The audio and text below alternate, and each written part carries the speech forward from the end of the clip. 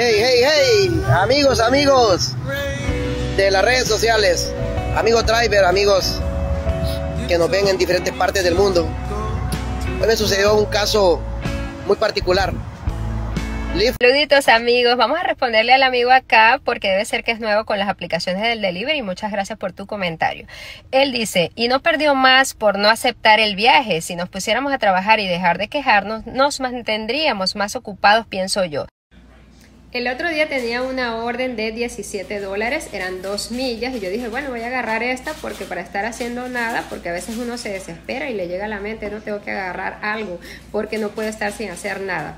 Bueno, agarré esa orden y en ese momento estaba hablando con mi esposo comentándole que agarré una orden de 17 dólares y me dice, no, pero ¿qué es eso? Quita eso. Y bueno, me hizo reaccionar y es verdad, a veces uno se desespera. Y luego, esperando 5 o 10 minutos más, me ha salido esta orden de 57 dólares. Fíjense el tips porque no es la compañía lo que está pagando, son clientes que tiene Instacart que dan propinas generosas y ellos tienen estos clientes pero no te la quieren mostrar. Y te muestran una baja primero a ver si tú caes y luego te puede salir esta. Así que no pierdas la oportunidad y no te desesperes